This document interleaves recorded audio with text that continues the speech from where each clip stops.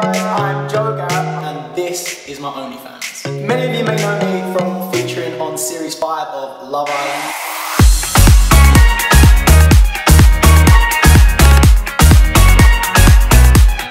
On Instagram, all you've seen is photos, boring stuff, but here on my OnlyFans, you're gonna see everything about me, my personality, lifestyle, vlogging, fitness, and exclusive content.